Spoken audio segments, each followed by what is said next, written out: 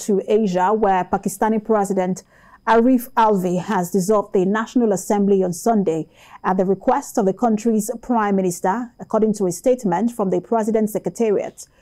In a televised address to the nation, Pakistani Prime Minister Imran Khan told the nation that he had sent advice to the President to dissolve the National Assembly or the lower house of the parliament. Mr. Khan said a foreign power hatched a conspiracy to remove his government through a no confidence motion against him, and the deputy speaker of the lower house rejected the motion because the nation cannot let such kind of conspiracies succeed. Imran Khan noted he wants his nation to start preparing for elections and not let any foreign power decide the future of Pakistan, adding that once the National Assembly is dissolved, a procedure to appoint a caretaker setup will start.